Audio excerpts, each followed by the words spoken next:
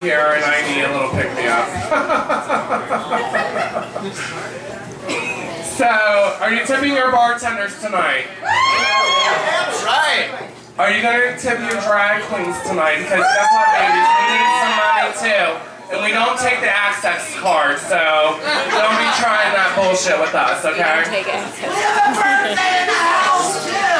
We have a birthday in the house. Whose birthday is it?